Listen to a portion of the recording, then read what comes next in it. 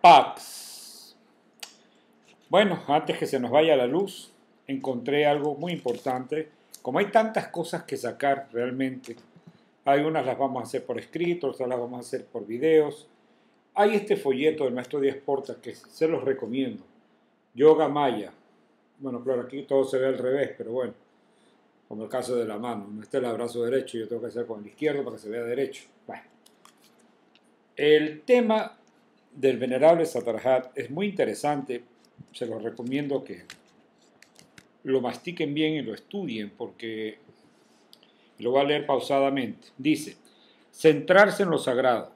El ser humano vive fuera de centro, siempre está descentrado, por eso vive confundido y sus pasos no están enmarcados por la sabiduría, sino por esa confusión y sensación de que la mente está perturbada por problemas, obstáculos y situaciones difíciles en la vida que no entiende. No sabe para dónde encaminar sus pasos y cae en actitudes imprudentes cuando se supone que la característica de la sabiduría es la prudencia. Hablamos de la prudencia del valiente para hacer las cosas, y no la prudencia del cobarde que siempre se abstiene por el temor de cometer errores. Por eso el valiente es prudente, el como es como el buen general que primero estudia el terreno, pide información del enemigo, manda espías antes de lanzarse al combate y conoce sus recursos y los del contrario. El buen guerrero es el que mide a sí mismo y mide el terreno donde va a desenvolverse. En cambio, el que, dice prudente, el que se dice prudente, pero es un cobarde, siempre tiene excusas para no hacer las cosas, y lo disfraza con una serie de argumentaciones que parecen muy coherentes, pero que no son más que pura fachada. El cobarde diría, el agua de la alberca está muy fría, mejor no me baño, no me vaya a resfriar. Y el valiente dice, el agua está muy fría y me puedo resfriar. Entonces primero meto un pie, después el otro, luego el brazo, luego me mojo la cara, luego todo el cuerpo, al rato nadará tranquilo en el agua helada. Aunque mejor es pegarse un solo zarpazo de una sola y un solo grito, ¡ay! Y ya está, estamos mojados. Esa es la idea de la prudencia, que no caracteriza la actual vida humana. La prudencia del valiente es la observación de los hechos y de la realidad. Ese estado que los toltecas llaman la segunda atención, la primera atención es ver la vida de manera superficial. Nos apantallan las apariencias, los títulos, las promesas, la publicidad, las modas, el dinero, los lujos. En la segunda atención nos asomamos detrás de bambalinas, de las apariencias y con ese realismo y visión podemos actuar de manera inteligente. Hay varias clases de realismo, comercial, político, religioso, mercantil, económico, etcétera. Pero los que andamos en esta búsqueda tenemos que usar el realismo espiritual, ver la trascendencia de nuestros actos y las consecuencias para seguir el camino de la pirámide, de la montaña santa y no quedarnos en el valle dando traspiés por todas partes enredados cada vez más. Queremos que haya ascensión progresiva de la percepción de la conciencia de nivel en nivel, escalas de iluminación. No existe la iluminación súbita, que una persona de repente se transforme. En apariencia sí es, pero la realidad no funciona así.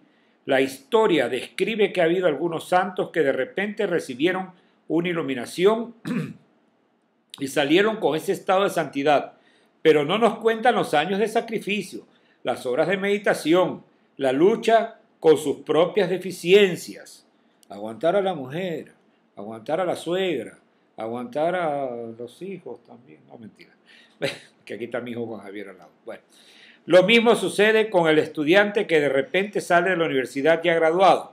Hoy hasta tal hora era estudiante y a una hora determinada sale con su diploma y como profesional. En un minuto se transformó, claro, en apariencia porque él tenía años estudiando y formándose. La gente saca conclusiones apresuradas, apresuradas, ven al hombre de triunfo que gana millones, tiene éxito, le dieron el premio Nobel, pero no toman en cuenta de lo que hay detrás de la fachada, los esfuerzos, los sacrificios, la disciplina, la investigación, los tropiezos, las caídas, los errores cometidos, y se crean una falsa imagen de lo que significa llegar a la meta.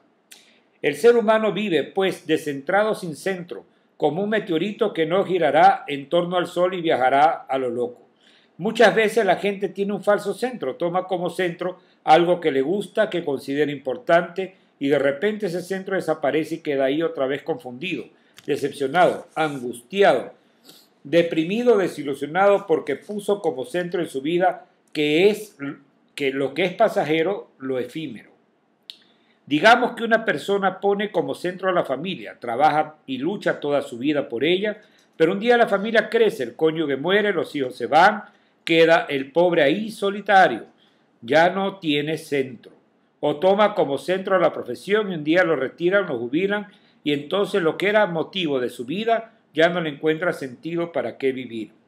Otros toman como centro de su vida el dinero, la personalidad del cuerpo físico, como el gran futbolista o deportista, y de pronto llega a una edad en la que tiene que retirarse al dejar de sonar en el mundo enfrente el dilema o, o ha fracasado en su vida, no tiene sentido o tiene que corregir su manera de ver la vida. Bien, esta es la primera parte. Mañana, eh, porque ya está oscureciendo, vemos la búsqueda de lo permanente. Es un, es un folleto muy interesante, se los recomiendo que lo pidan a la, al venerable Sadarhat o a los que administran su, su literatura, porque vale la pena. tuve la suerte de que el maestro de Porta, cuando estuvimos con él, nos diera este folletito. Bueno, este, definitivamente el ser humano sufre por falta de centro, por falta de comprender el porqué de las cosas, el por qué suceden las cosas. Hay muchos hermanos que se quejan, ay, pero es que a mí me va mal, pero es que no sé cuánto, no hay plata. Pero si nos ponemos a ver qué han hecho para sacrificarse, si quieres dinero, tienes que trabajar duro. Y en una familia todos tienen que arrimar el hombro. El que no arrima el hombro se queda atrás.